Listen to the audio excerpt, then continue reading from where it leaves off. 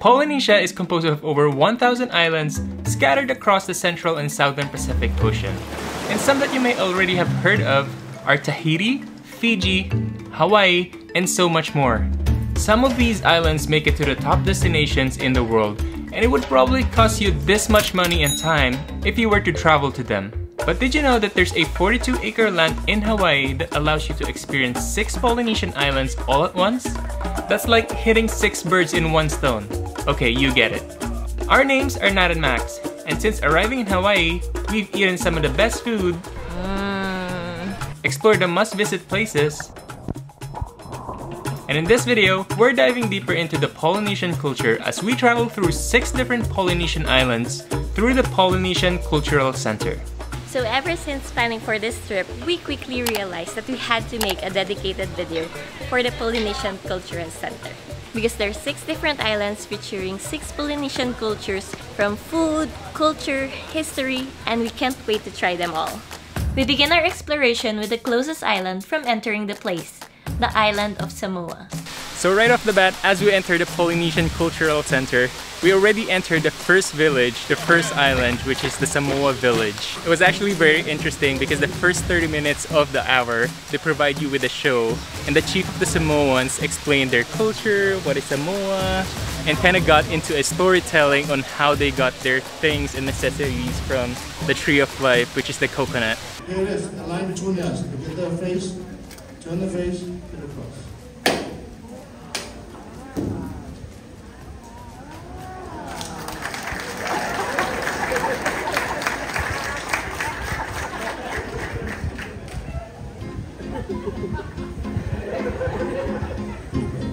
was really entertaining and very funny too. Yeah, it felt like a little bit of a comedy show too.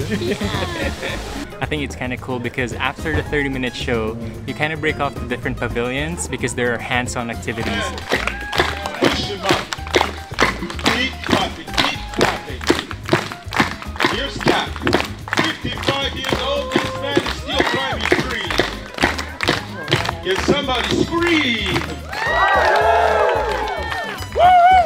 Now we're gonna have that young fella there jump over to this tree. Hey, good luck, man. Good luck. And everybody's Everybody say you can do it. You can do it. You do it. I really thought that he's going to jump. it's crazy enough that he got up there. It's just a matter of seconds. so fast! There's a pavilion that you can light fire and then you, they show you how they cook. There's also a pavilion that they teach you how to weave, which is really kind of interesting to see.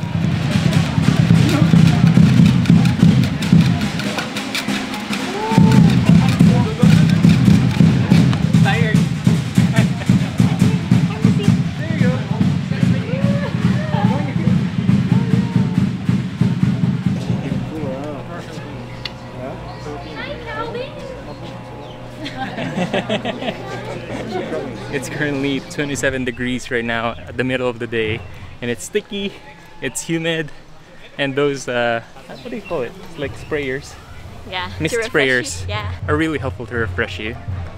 Now this next island was a little hard to pronounce, but has another name that we're all pretty familiar with. Here's Aotearoa, or also known as New Zealand. People singing inside. Okay, let's catch a show. All of the islands have a similar schedule where their first half an hour is carved for the presentation. That being said, this island showed something that would leave a mark on its audience.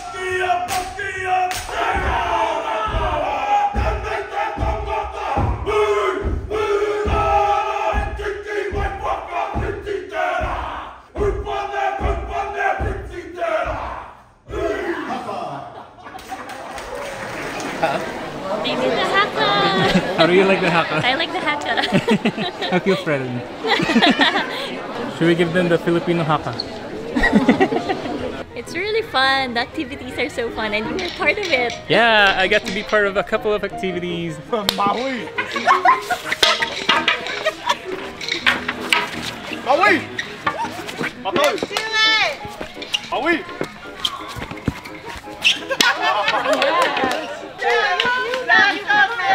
They were mostly games. Yeah, lots of hand and eye coordination, which is, I think you're really good at it. Eeh, I didn't get to the last part though. it was hard. Yeah, give yourselves a nice big round of applause. You can place your sticks. Okay, the last activity was a bit tiring, especially under the Hawaiian sun. Let's maybe go grab some refreshments. Hmm. Got pretty pretty tired throwing sticks around, Playing with sticks. playing with sticks. So we got some refreshments. So this is a lava flow, which is I think around nine dollars, which is uh, pineapple, coconut, fresh strawberries. I think there's pineapple chunks in there as well. Tastes like a popsicle. So sweet. I can't believe we're already hopping over to our third island, the island of Tonga.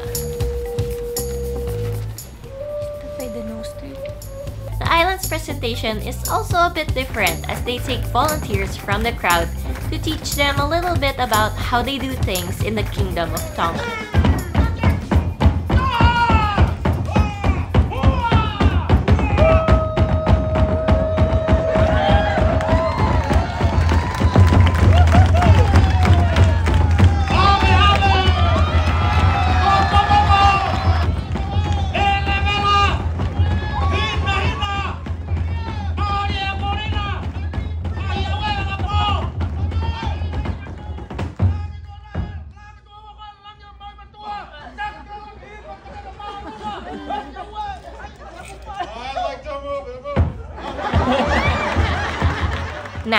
After all that, I'm a little relieved we didn't get picked. I think I'm a little more confident performing from the bleachers.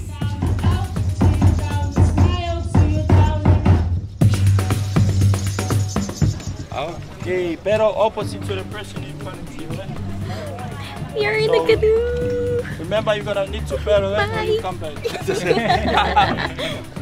Bye! Where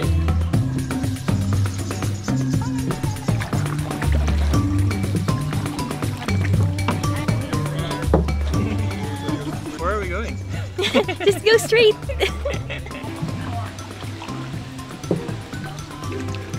Aloha! So one of the activities after the show at Tonga is riding a canoe and you can even paddle it by yourself. It's really cool. So this lagoon goes across, eh? Across all the islands? Yeah. It's a really cool experience. But since I'm pregnant, I'm exempted in doing the paddling. Right? Twice the work here. paddle, paddle, paddle.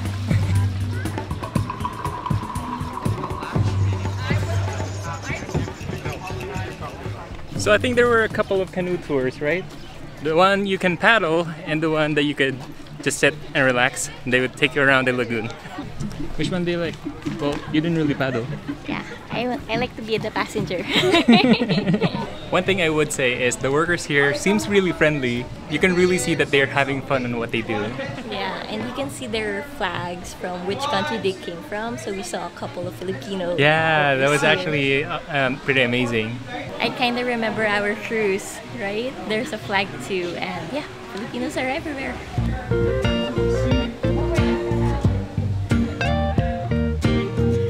Welcome to Polynesian Cultural Center Canoe Tour. My name is Captain Deitch, and today I'll be your tour guide and also your engine today. So right now I'm gonna give a safety precaution. So we're gonna go under the couple of low hanging bridges. Right now you guys can also say bonjour. Bonjour. Bonjour. Bonjour. Yes, 'cause in Tahiti people actually speak French over there because of the colonization. Yeah. Uh, and Tahiti is not a country, still part of France. It's in the French Polynesia, so they are French citizens. These statue known as the Polynesian Backstreet Boys. Known as the Moai.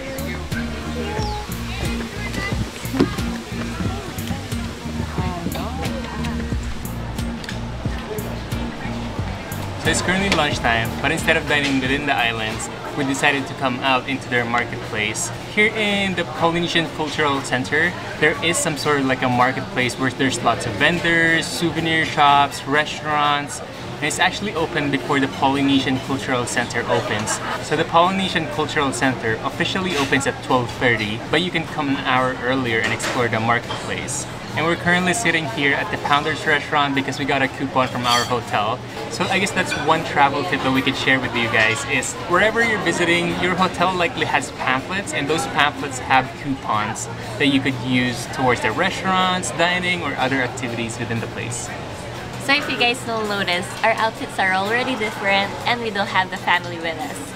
That's because it's already our second day here at the PCC. Since we booked the Ali'i Luau package, we also get a free admission ticket that we can use for the next few days. That's perfect because yesterday it seemed so fast and we missed a couple of islands.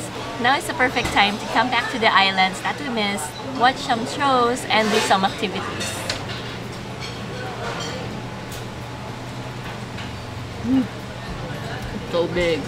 So I think the main difference of this burger from the other burgers that we've had is this one has pineapples in it. And Hawaii being one of the places that has like an abundance of pineapples, you can literally see pineapples everywhere. And I think it's a nice touch to the burger. Now entering the village of Fiji. It's Moana's boat. This is actually a pretty interesting one. If you guys have seen the movie Moana, when Moana steals a boat and rides off to the ocean with a chicken, this is the original inspiration of Moana's boat. But I think there's a little bit of a misinformation about the movie because when Moana just pulled the boat into the water, she just did it by herself. But in reality, I think you would probably need 10 people just to pull this boat out to the water. So we're watching a show on how to make coconut oil and it smells exactly like a coconut. It's so delicious. that is how we make Straight from the kitchen. Now that you know how to make it, you can make it by yourself, right? Thank you so much. Now before we head over to the Fijian presentation, Max and I felt a little adventurous and got matching tattoos. It's washable though, don't worry. Okay, not that adventurous because these tattoos were painless and would wash away with water. And these kids look either impressed or angry that two adults lined up at the kids' tattoo booth. So I guess the tattoos are representation of what is your status in the village. Like this one, this one is for queen. And This one is for the High Chief. the Fijian show was pretty informative as expected. They showed us how Fijians lived many, many years ago. Now, what you're about to witness, ladies and gentlemen, is a reenactment of this Dumuni ceremony. This is where one of the rival chiefs from the rival tribes will be sending his people.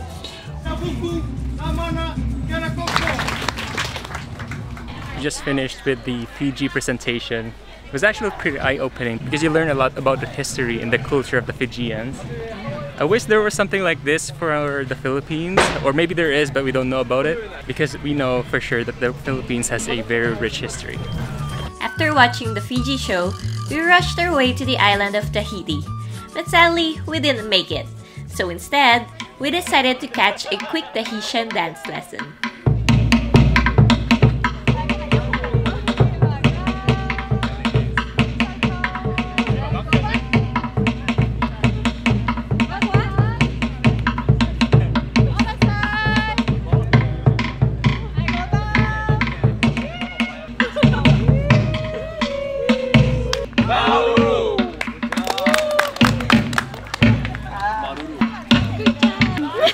Did you dance? Yes, I did a hula. So that was a quick Tahiti dance lessons. It definitely loosened up a little bit of the tightness around the hips. It's so hard to wiggle your body when you have this big of a stomach. but someone definitely enjoyed it in there. Yeah, she was probably dancing. Yeah, she was. So here in the Tahiti island, you can learn how to dance the Tahiti dance, watch a wedding ceremony, and even catch a fish. Look at the bananas! It's so low. Well, I think that's a señorita. Señorita banana. You remember what the señorita is? Yeah, tiny bananas that you can make as a banana cue. One thing we noticed was it's less crowded today than yesterday.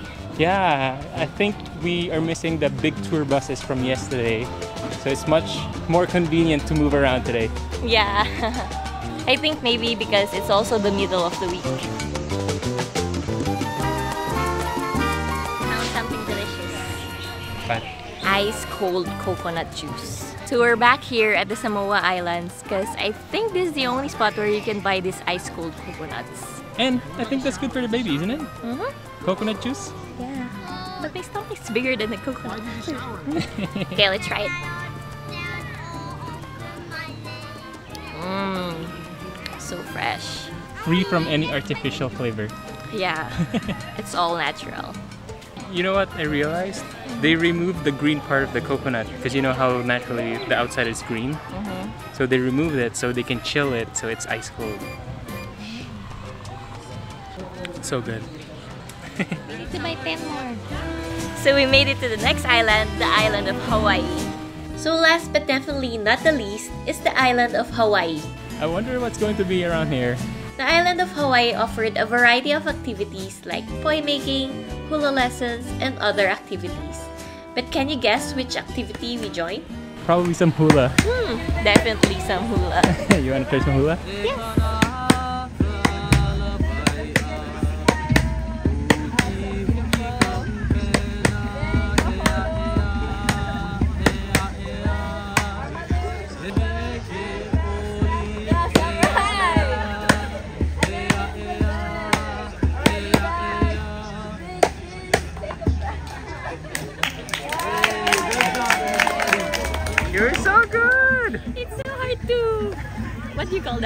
Wiggle. Wiggle your body. It's so stiff. Okay, we've definitely hit our quota on hip shakes in a day. So to rest but still make the most of our time, we went to a little house where they teach you how to play the most enjoyed instrument in Hawaii, the ukulele.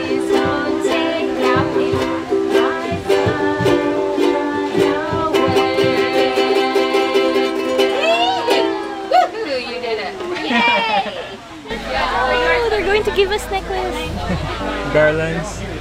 Garlands. Oh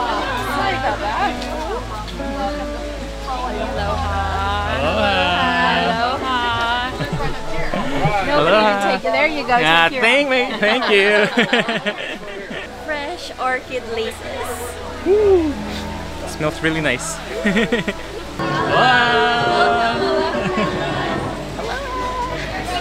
First one's in for the food. Oh, wow. So, when we were doing research on this Hawaii trip, there was one thing that stood out in every article and video that we've seen is that you have to go to a luau. A luau is a traditional Hawaiian feast that is accompanied by a cultural Hawaiian show, and you can normally find luau's all over Hawaii. But we thought, where better to experience a cultural show than in the cultural center itself? Thank you. Pass it down. It's refillable. Take note. What? Yeah. Really? Oh, wow. That is so good. Bottomless. Yeah. And she said you can keep the straw because it's environmental friendly and a souvenir. So after visiting a few villages, we've come to this place called the Ale Ohana, which I think is the grand hall for our buffet. So when you book your tickets for the PCC, you can also pick your package. There's a couple of packages to choose from, but this one specifically has the luau. That's why we booked it. We're currently waiting for our dinner to start, and we're so excited for the luau. It's gonna be our first time.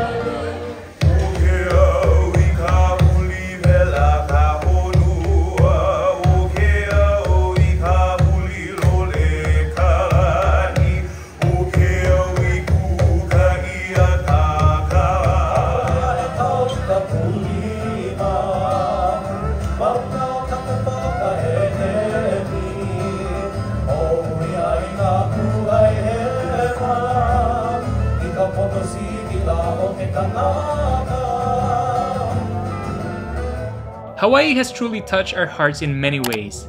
From the day we landed, we were greeted by the sweetest smiles and the friendliest aloha. And after spending time exploring Oahu, I can't say that we've done everything on this island, because this island still has so much to offer. But what I can say is we found the right adventures. So, shall we do another trip to Hawaii in the future?